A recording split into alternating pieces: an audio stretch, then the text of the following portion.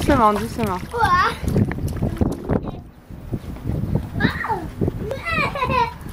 Ça fait de la peinture. Ah oui.